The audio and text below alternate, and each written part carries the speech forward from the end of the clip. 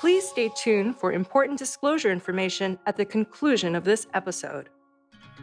Hi, and welcome to The Long View. I'm Christine Benz, Director of Personal Finance and Retirement Planning for Morningstar. And I'm Jeff Ptak, Chief Ratings Officer for Morningstar Research Services. Our guest on the podcast today is Joe Saul Sehy. Joe is the co host of the popular Stacking Benjamins podcast, and he's also the co author of a new book called Stacked Your Super Serious Guide to Modern Money Management, which he co wrote with Emily Guy Birken. Joe was a financial advisor for 16 years before embarking on his current career as a financial educator. He received his BA in English from Michigan State University. Joe, welcome to the Long View. Well, thank you for having me. I think it's probably time for me to retire because I made the long view yeah. and you go out on top, right? Well, thank you for saying that. Um, and I've been a guest on your podcast on a few occasions. So, Joe, we wanted to start with some stage setting. We wanted to talk about your own journey to being a financial podcaster and author. You were a financial advisor for many years. What made you want to pivot from that position to your current job as a, I guess I would call it kind of a money educator? Yeah.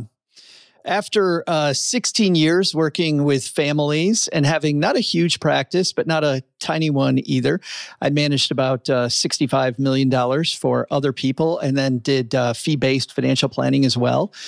I one day received a letter from a guy who was a mentor of mine who counseled a lot of different advisors. And he said he was leaving the firm that I was with. And uh, let's be clear, Christine, the, the type of firm that I was with, it was much more Jerry Maguire, where you leave at midnight. For people that haven't seen this uh, movie, uh, you know, Jerry Maguire's an, a sports agent. You leave at midnight with the client files, and then everybody's calling them at 6 a.m. to see which way the client goes, right? And it was much more of that type of an atmosphere. So the fact that he wrote like a two weeks notice letter, a month's notice in this case, was was very strange. But the letter itself was even stranger, where this gentleman, Chris is his name. Uh, Chris said, "You know, I've been lucky that I've saved and I built a great foundation myself, and I really don't know what I want to do. Financial planning is something that I love." But I wonder if there's other things that I love more. And the problem is, I spend so much time doing this that I've never really given myself time to see what other mountains there are to climb. And I think I have other mountains I want to climb. And when he said this, I thought it was a metaphor, right? Most of my friends thought this was a metaphor, other mountains. And it, no, it turned out not to be a metaphor. He actually left and went and climbed most of the high peaks. He climbed Mount Everest mm-hmm. twice. He, he went and did all this stuff. And now he runs an adventure travel company in Boulder and and that not just for me but I think for a lot of people was a wake up call. You know, financial planning, as you guys know, is much more about balance and being able to have fuel for these things that you truly want to do. And at 39 years old, I'm getting ready to have this milestone birthday at the time. I looked at my own life and I said, wow, you know, I like this. I don't love it. And I'm wondering if I have other mountains to climb.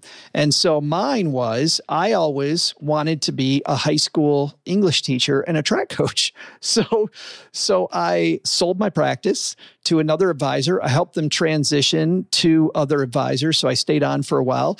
But during that time, I was taking all the tests to go back into post BA uh, education at a university, applying to schools.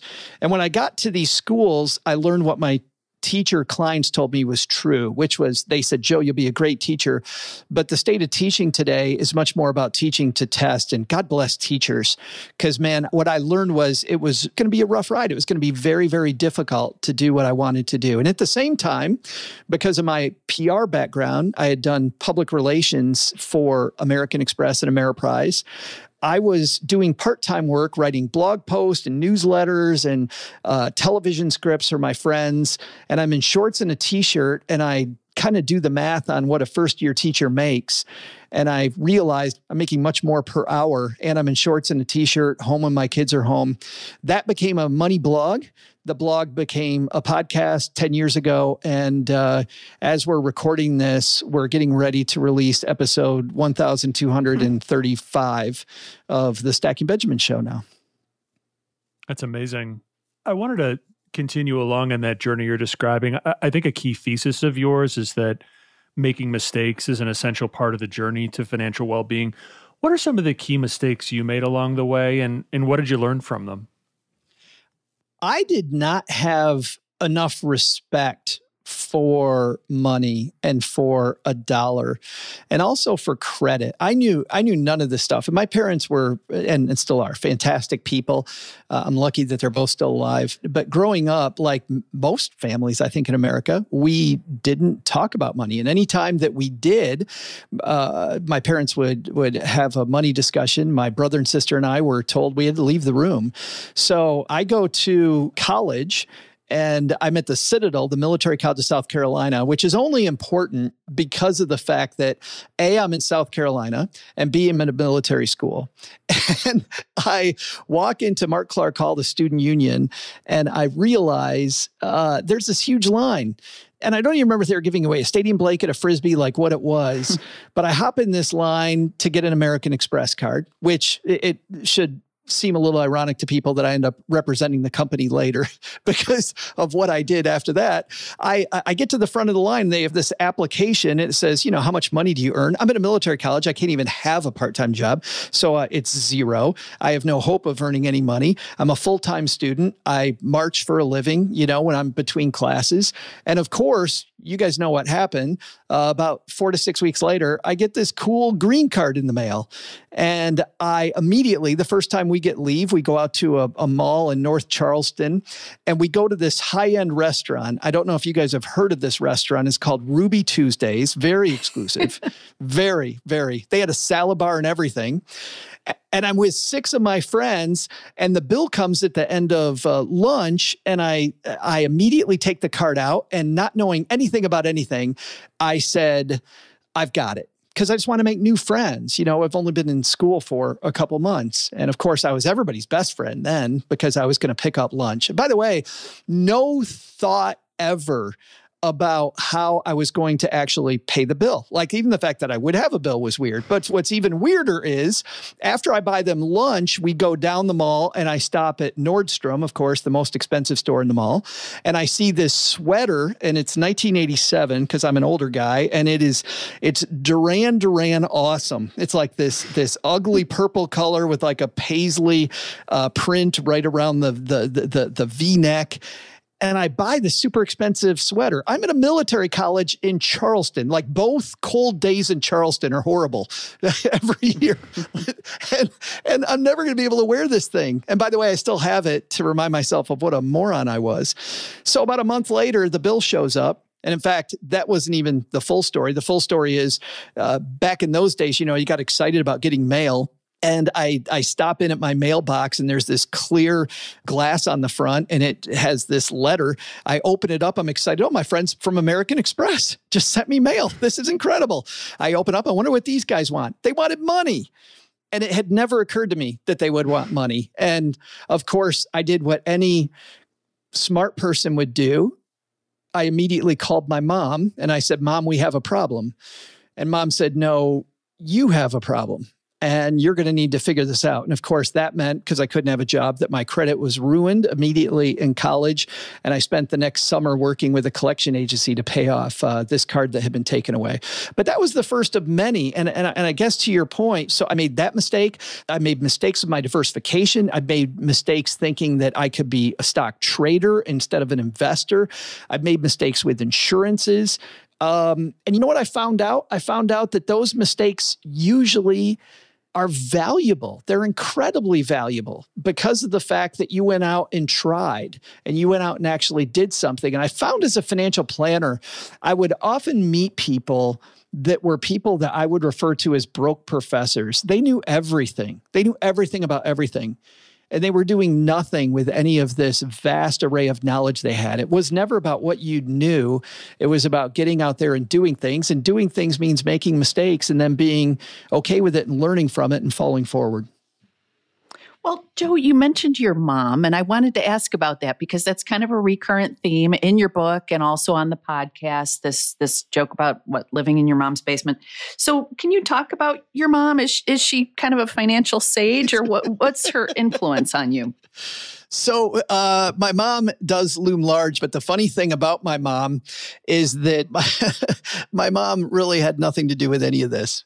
What's funny is is it's a series of jokes because we believe very strongly that if we lower the temperature on finance and on financial planning in the stacking Benjamins world, I believe that if we make this much more playful, we're going to bring more people along for the ride. There was a study done recently called The Secret Financial Lives of Americans and it dives into the group is is called nonfiction research. It dives into all these secrets that we don't share with other people. And some of the secrets are really disturbing like you know there's these people that steal lunches out of the cafeteria back when we were working in offices and not you know from home during covid the person stealing lunches sadly isn't doing it because they're a jerk. They're doing it because they've messed up their money so bad that they're completely broke. Or the number of people that have admitted that they've eaten out of a dumpster. But really disturbing to me is out of 330 million plus people in America, nearly half of us say we've cried about our money. So the whole idea of my mom came from when we started the podcast. I did not want to be two guys, a former financial planner and a current CFP, who, you know, are industry insiders to some degree and know what we're talking about. We wanted to lower the temperature, make it inviting. And also at the time, 10 years ago, Christine, when we started the show, every podcaster was in their mom's basement and they were trying to pretend they weren't. So we so we decided that if we were two dudes in mom's basement, it would make it much more fun and approachable for people. And then we could be the voice of reason while still having some humility and having some fun. In the book, what's kind of funny about that is that I had forgotten that we had changed these asides in the book because, you know, like most books, that they have these cutouts, which are important things, but they really aren't part of the main narrative. So you put them in a block along the side. And my co author, Emily Guy Birken, who wrote The Five Years Before You Retire and a few other great books before doing this project with me, she and I decided, you know what, we're going to snark it up a little bit. We're going to have mom write those. So mm-hmm. we rewrote them and put some comedy in and, and, and made them mom's asides and, and not ours hours. Well, when we went to do the audio book, they actually Penguin Random House, Christine actually asked me the same question and said, uh, So is your mom going to read those? And then I had to tell them that even the voice of my mom on our podcast is not my mom. It's it's this woman, this wonderful woman down the road who's the head of a great nonprofit here in Texarkana, Texas. I'm a part of Julie Ray Harrison, and um, so yeah, mom is mom is a construct of ours that really is meant to make this a little more fun, a little more approachable for people. That said, my mom truly is a badass, though, Christine. She's awesome. Your podcast isn't exclusively focused on the financial independence retire early movement, but it seems pretty aligned, and a lot of your guests are fire folks. What's the connection? I think the connection is is that the fire movement, financial independence retire early, is something that I think was around before the fire movement. I mean, I remember when I was a financial planner, which was largely before the big explosion of the fire movement, right? That if you talk to people they go yeah how can i retire earlier? How can i how can i do more? How can i uh, spend money on things i value and uh, stop trading uh, uh, time for hours? So i feel like our show has always been a fire show. Uh, however I think just lately our show seems to attract more fire listeners as uh, our show talks a lot about current events, um, a lot and about what's happening now and how that kind of fuels that fire thought process. Are you happy with the way that we've kind of seen the fire movement evolve, especially over the past few years? It's my sense that the financial independence piece is really taking precedence over the retire early piece, or maybe retire early as being considered just one sort of expression of financial independence, of which there might be many. Are you happy with the, the way things are playing out there? I, I would love to hear you guys' opinions on that because, on one hand, I'm incredibly uh, happy because initially the fire movement got uh, some pushback, and I think rightly so, that it was very attractive to people that had very high incomes and could easily cut expenses. And it was very easy for those. And, and, and, you know, when I say very easy, it's not easy for anybody. So I guess I should give people a little more credit that no matter who you are, you still have to put in the work. But the work is certainly easier for somebody making $150,000 a year and single or uh, dual income, no kids, than it is for a family of five trying to live on $75,000 a year or uh, even $100,000 a year, even that same $150,000 a year. So the broadening out that there's different ways to reach this finish line, whatever the finish line is for you. I find that to be incredibly exciting. And the idea, by the way, and I really kind of feel like the fire movement is tied a lot to this idea of great resignation that no, I do have some power here. I can change my expenses, I can change my income streams, I can change my job, I can take control of my life. I think that stuff is really cool. By the same token, I don't like the fact that I feel like like it's kind of faded into the bigger narrative. I really like the fire of the fire movement and how fiery and different and wow that was and how it kind of woke people up.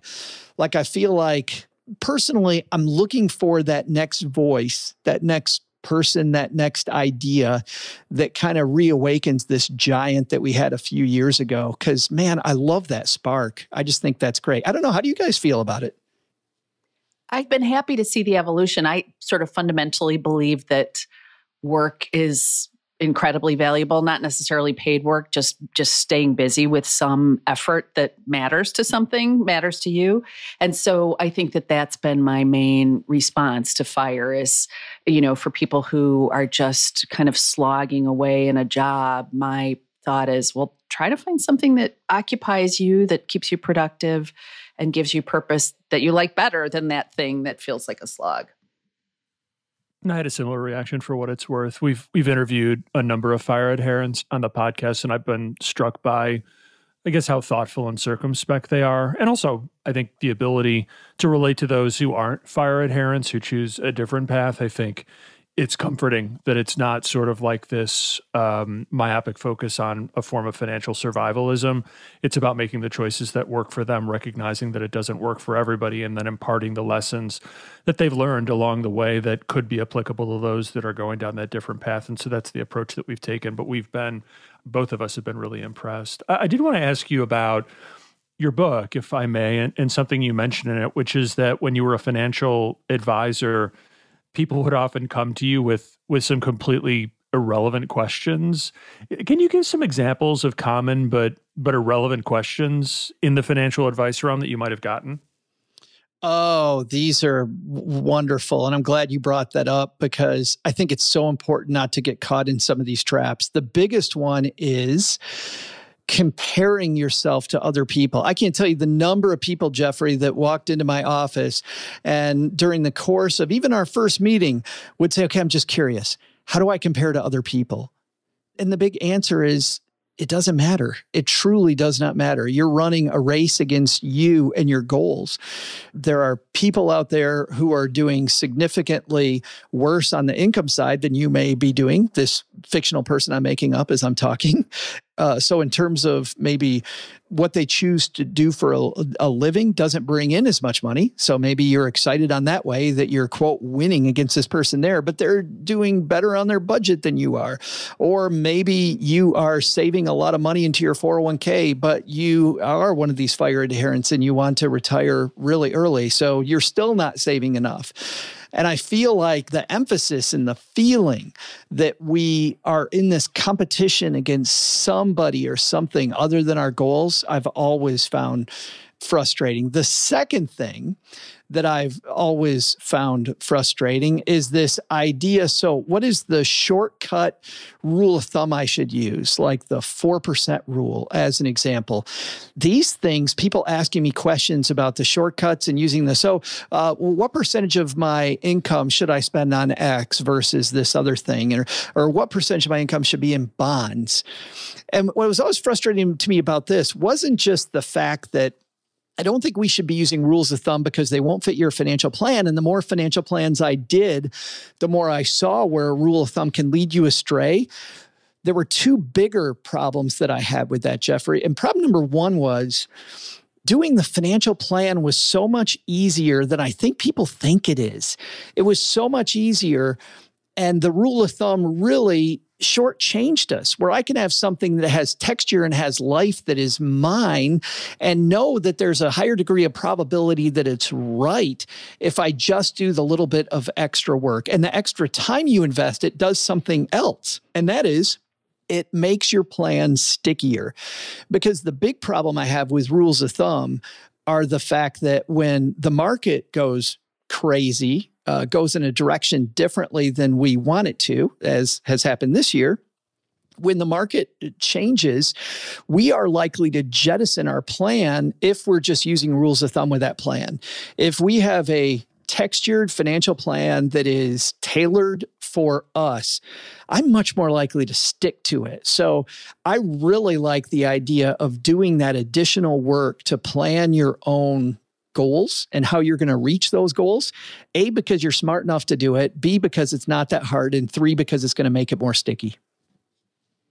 So I wanted to ask is it your sense that people place a disproportionate amount of emphasis on investing as a means of addressing their financial problems? And I guess more broadly, do you think there's confusion in the population about what is financial planning and what is investment planning and which one do I need?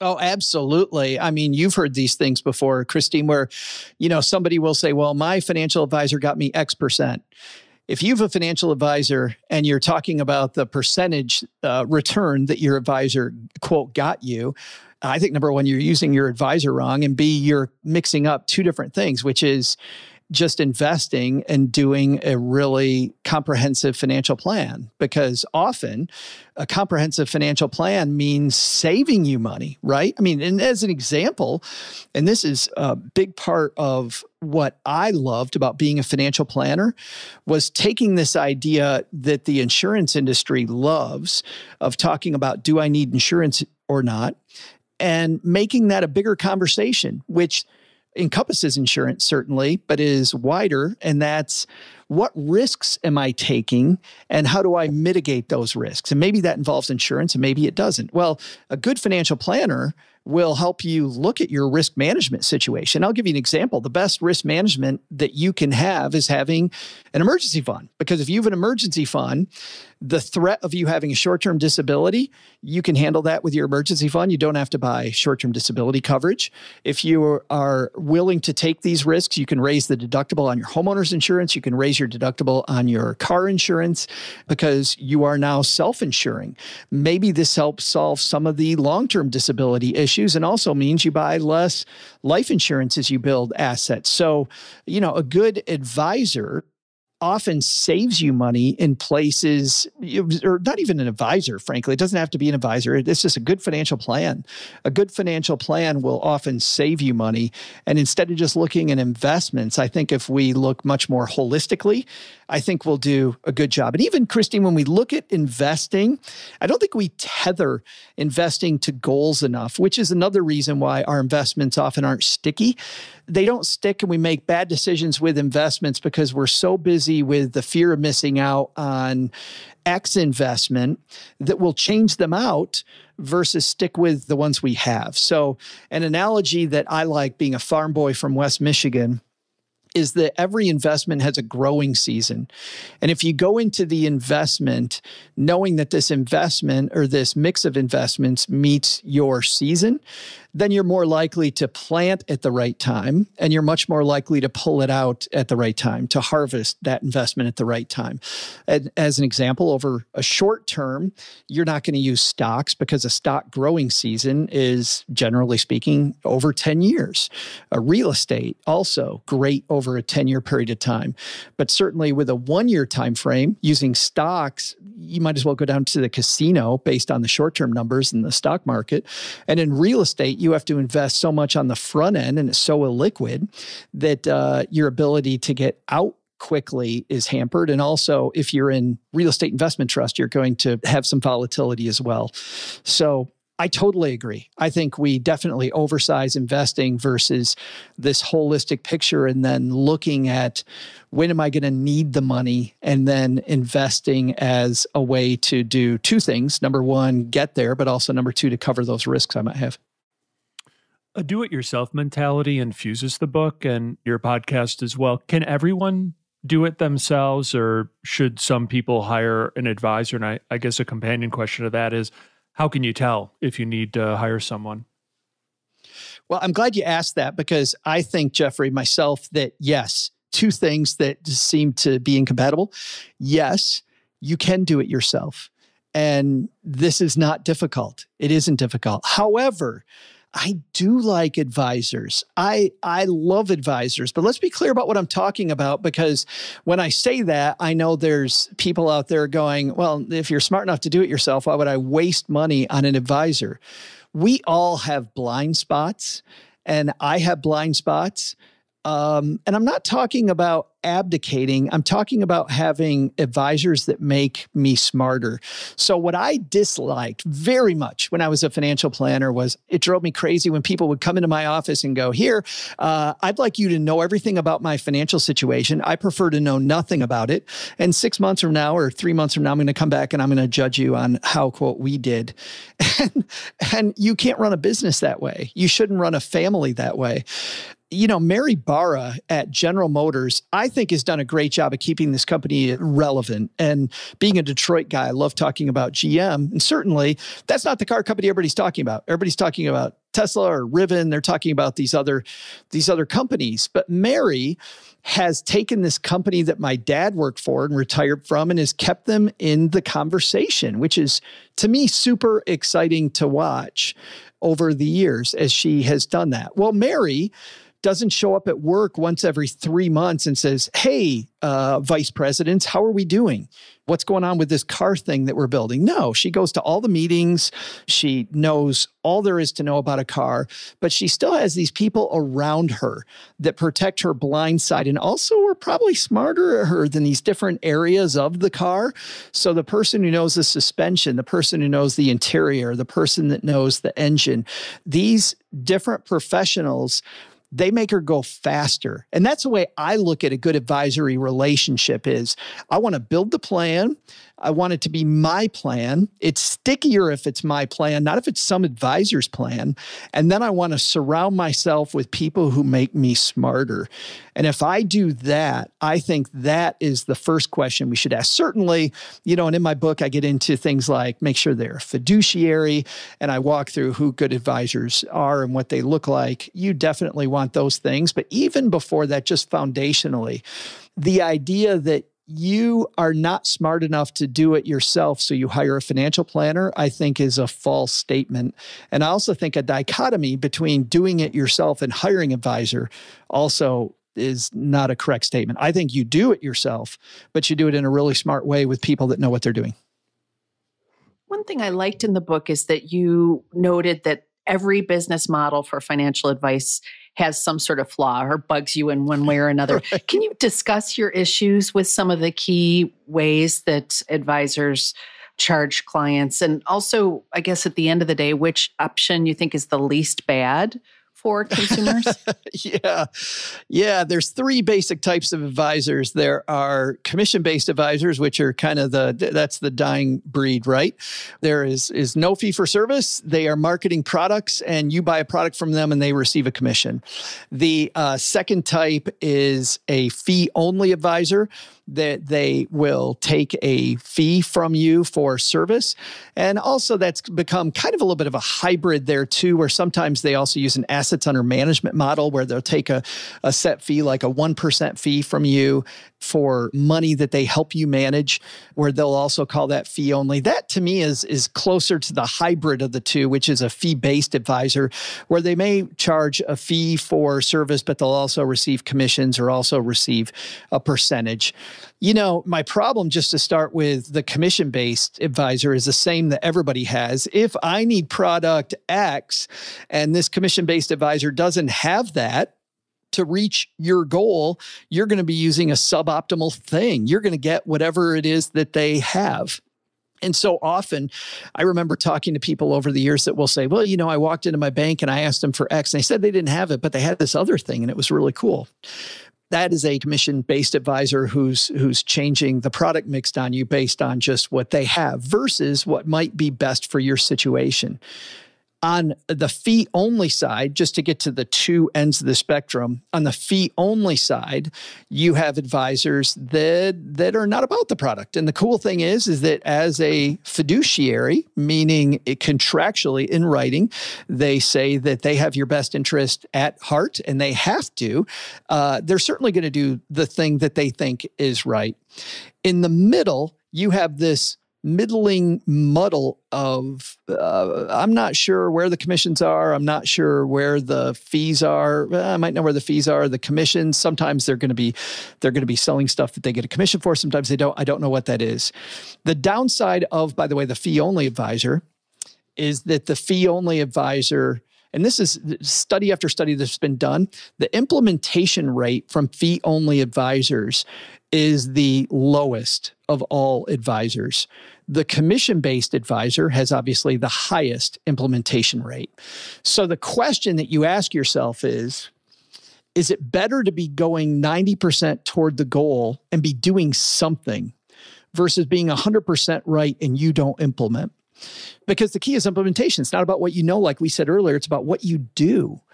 So the advisor, Christine, to answer your question directly, that is the best for me is definitely the fiduciary advisor where I'm paying them a set fee and I know that they're doing what is clearly what they believe is is best for me.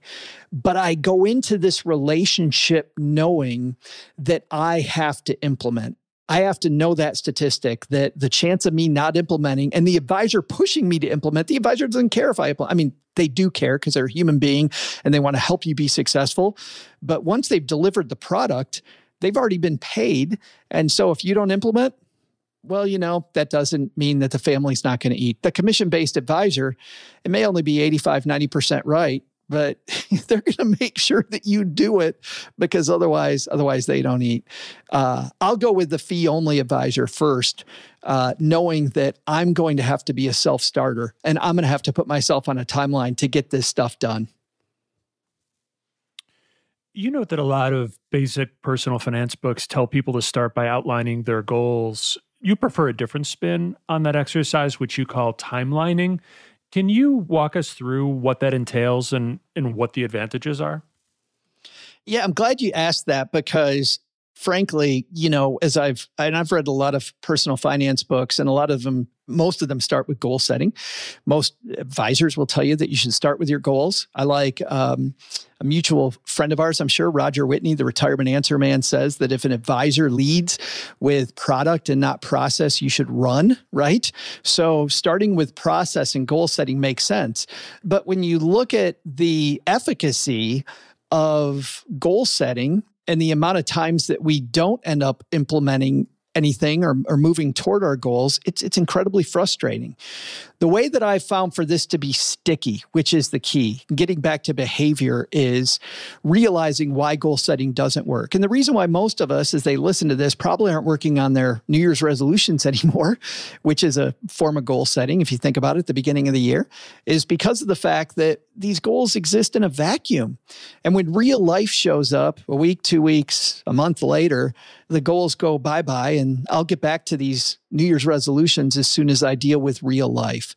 So the key is to integrate these into real life. And I love it when goals fight against each other in real life, meaning that the things that are important to us are what we're really going toward. If it's not important to us, then truly is it really, really a goal? So I also like if we're going to get this done, uh, what a lot of brain experts have told me about how the brain works, which is visualization is a great key to success. You look at the success people have when they do vision boards, when they put it in front of them, right? If I want to do something, I put it on my screensaver. I do that all the time with my goals. I will make sure I see it all the time and man, does it work.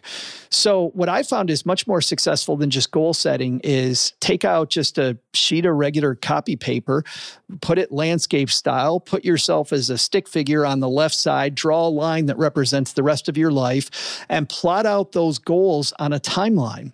And not only now do I have the same goals I had when I had my New Year's resolution, but now they're time specific. And we talk about how time specific goals we're much more likely to get, you know, the SMART goal process. But also, I see this goal in relation to other goals. And while language was developed over centuries and centuries, and for us as humans, learning to talk takes us, you know, a year or two, and our vocabulary as children takes a number of years for us to get the vocabulary together. Sight is something that if we're born sighted, we have immediately. And so, this idea of spatial recognition is inherent to the vast majority of us. And because of that, our unconscious mind very quickly looks at these two things and it compares them. Is that goal more important than that one? How do I get both of those? Oh, I'm trying to retire at the same time that my kid's a junior in college. How am I going to do that? Doesn't mean you can't do it, but it certainly means that there's going to be some friction between these goals. And there always will be friction between our goals. So I like that. We begin having these wonderful value conversations that we don't have with New Year's resolutions or with regular goal setting about which which ones of these are the most important between these goals. The second thing that we do is we also see that growing season that I mentioned earlier. So when it comes to your investment philosophy, it's much easier to determine in your head which growing season I need, which type of investment historically meets this goal. And the cool thing about that is it gets rid of the fear of missing out. Like if there's some investment that my buddy has that is supposedly a fantastic investment, it's okay for it to be a great investment. It just doesn't meet my growing season. It's no longer about good or bad, it's about does it fit? And then the third thing is a lot of us have trouble with budgeting and if we take all these different goals and we draw a line back to today, we very naturally ask ourselves, for me to make these a reality, how much do I need to save toward these goals? And I begin tethering the goals to my saving today, makes saving more exciting, makes it more fun, but also we can see realistically what we have to do to get those. And then we start making, again, some value decisions about how I'm spending money today. Do I value going out to dinner as much as I am versus having the second home or putting junior through college? And certainly, without judgment toward those things, we can find some middle grounds. Maybe I pay for three quarters of college or half of college, or maybe I retire two years later, whatever it might be. I love this idea, Jeffrey, of goals fighting it out for, for brain space. And I think that's what timelining your goals does that just simple goal setting doesn't do. So you've referenced this concept of growing season a couple of times, and I've heard you talk about it before, Joe. And I'm hoping you can just kind of expand on that for people who haven't heard you riff on that concept before. Sure. The, idea is is that your investment your investment has a time when it works best. And different investments work great over different timelines. And you know when i was a financial planner i would have somebody that said hey i got a long time on this so i was thinking i'd use you know some stocks. I've got about three years till i need the money. So that's great. And then i would have to redefine for them what the growing season is on a good stock portfolio. And growing season really means what that means for people that didn't grow up in West Michigan and farm country. It means the amount of time when we're going to have a relative degree of certainty that this investment's going to do what we want it to do. And so for the stock market or for real estate, large company stocks and real estate, we're looking at 10 years plus. Certainly some hybrid model or bonds, uh, uh, depending on the type of bond, might be in the five year, five, six, seven year time frame. Cash for those shorter needs. Um, and then I begin with more certainty, building a foundation toward getting my goal. So that's what I mean by growing season wanted to ask a, I suppose it's somewhat topical question, which is on inflation. I- inflation is another hot button issue this year. What's the best way, in your opinion, for investors to protect their portfolios against inflation? Yeah, Jeffrey, inflation's the thing. I didn't. I didn't see that. Afraid so. we, when it comes to inflation, I think the key is to pull back and ask myself, what is inflation caused by? inflation is caused by prices going inflation is quite literally prices going up and the cost of things going up well the companies that are inflating their prices are protecting themselves by inflating their prices to make sure that their profit margins stay where their investors and, and their owners hope for them to be. Which means that if I am worried about inflation, I certainly, with my long term investments, have to realize the least risky place to be is in those types of investments that are causing inflation, which are ownership of stocks, ownership of these companies. So the stock market is a great place to be, even though we look at the stock market this year over the short run and we go, oh man, I don't know if I want to be there. But I think when I start thinking in terms of 10 years plus, like we were just talking about a second ago, and we start thinking about the mechanisms that are creating this, it, man, if I'm protecting my portfolio against inflation, I think the best thing to be are in these companies that are raising their prices uh, to make sure that they protect their shareholders. So if I'm a shareholder, I'm actually protected as long as I have a long term view by having my money in equities.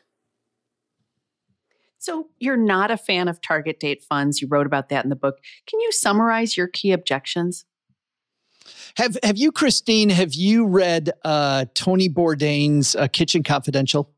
Yes, long time ago, but yes. Yeah, so he has a chapter in there that I'm going to use as an analogy. And for people that haven't, Tony Bourdain, the chef, Kitchen Confidential, talks about uh, his life as a chef, but he's got a great chapter called Eat Before You Read This.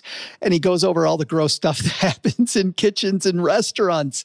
And a gross thing that happens in the financial services industry is that a lot of target date funds are the equivalent of the salads that restaurants will put out on the Sunday buffet. And the reason Tony explained that the Sunday buffet was created was because uh, companies companies will often get new food in on Mondays or Tuesdays for their freezer. So they're working at the back of the freezer. And all week long, the chefs have gone past some of the ugliness. And so they turn it into a salad, they hide the blemishes, and they uh, put it into a Sunday buffet and market it for an amount of money that people will come flocking to.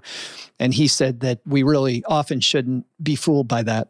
I think in a lot of the mutual fund industry, and you'll actually see a lot of this by exploring Morningstar, you'll see that a lot of financial companies hide their ugliness inside of the uh, target date fund. That's not my my prime problem with target date funds, though. However, even though that's true, and certainly there are good target date funds that don't do that. I really like, you know, I have people that use Vanguard target date funds. Fine, they're fantastic. Uh, Fidelity has nice target date funds, just to mention a couple. T. Rowe Price, but overall. I think this about target date funds. Number one is you are, to use a whole different analogy, you're landing the plane with a target date fund and when you land the plane, what I mean by that is the target date fund takes a date, let's say it's 2050, and it is getting more conservative as you get toward that goal. Well, a lot of people in my history as a financial planner are kind of coming in hot when it comes to their long range goals. And we need the second double. We, we need every doubling we can get of our money. We need to make sure that our money is going to last as long as we are and we can milk as much of it as, as we can. And so I find that with a target date fund, we get way too conservative with our money right at the time when we would have that last double. And certainly there's an argument to be made that we need to be conservative with some of of our money on that day. But if I'm using a target date fund, I'm getting overly conservative. Now, I can see why the investment industry does this. Uh, it's because of the fact that A, they've made you a promise. They've said this money's going to be available uh, by or, or near this date. And so they're upholding their half of the bargain. I think the problem is much more in the planning that do I truly need all this money to be there uh, at this one time? The second piece, though, actually, if I'm counting as my third piece, the salad uh, as number one. Number two, then being the fact they get too conservative. But number three is this I don't like some of the terms that we use asset allocation, efficient frontier. What I've found is that these concepts are not as hard as the words make them sound and building your own asset allocation using tools, frankly, like Morningstar, like I did when I was a planner, not only less onerous than I thought it was, much easier than I thought it was, much more fulfilling than I thought it was.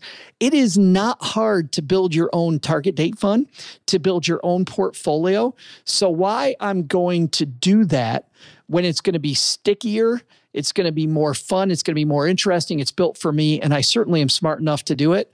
Why I would outsource something like that to a financial company uh, isn't something I would do. I just, I wouldn't do it. So those are three reasons I don't like it. And of anything, Christine, that uh, I talk about, I found this is the one I get the most pushback on. A lot of people like, no, beginners need target date funds. I'm like, no, I think we should teach beginners. They're smart enough.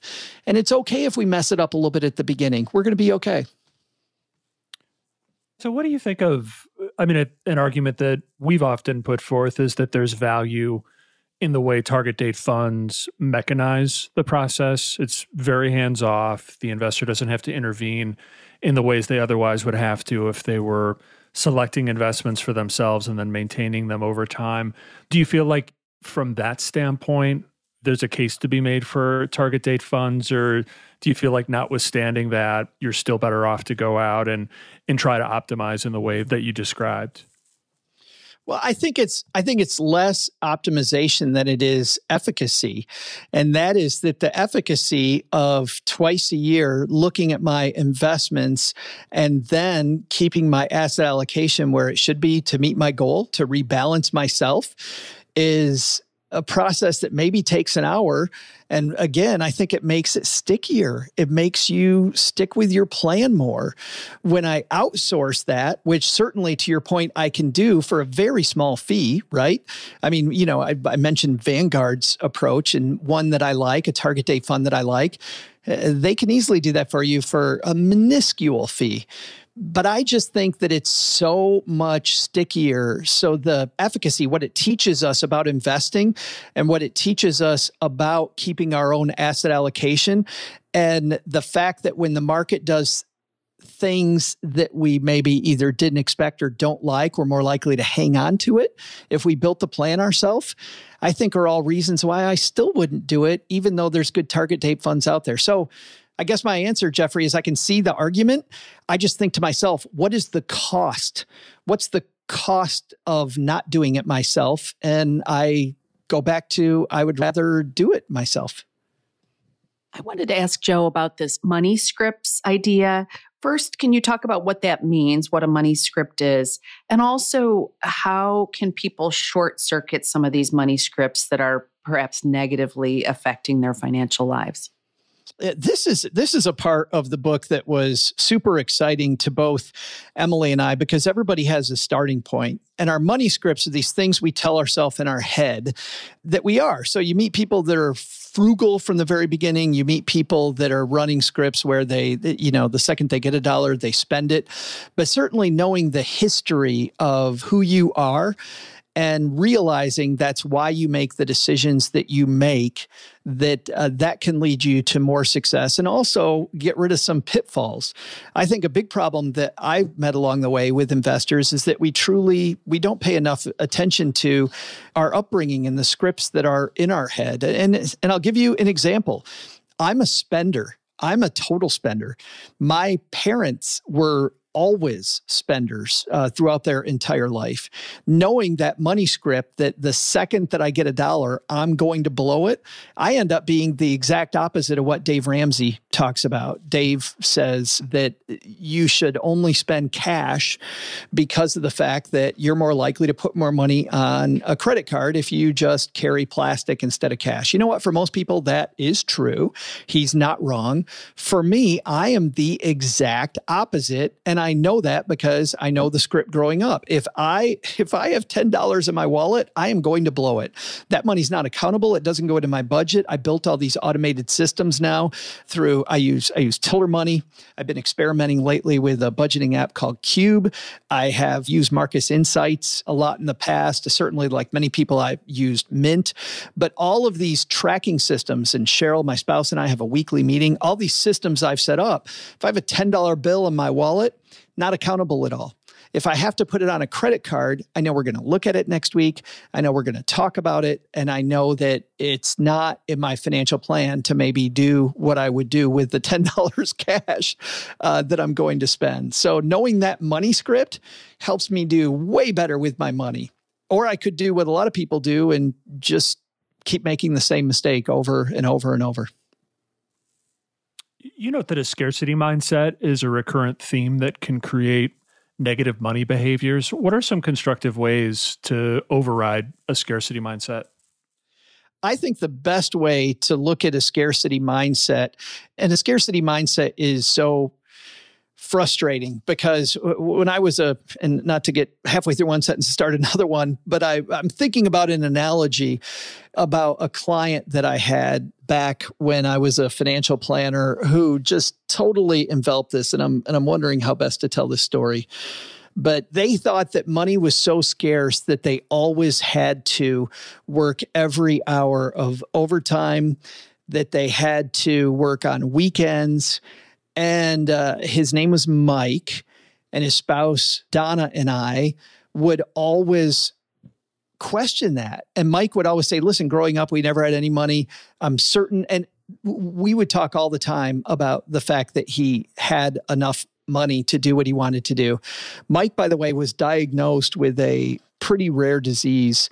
And he found out that although he felt pretty healthy, he was probably going to die in about 12 months. And immediately, Mike's scarcity mindset went away, and they were going to Alaska. They were doing all of the things that they so wanted to do. And it was exciting on one hand to see that they were finally going to spend some money. They were going to do these things.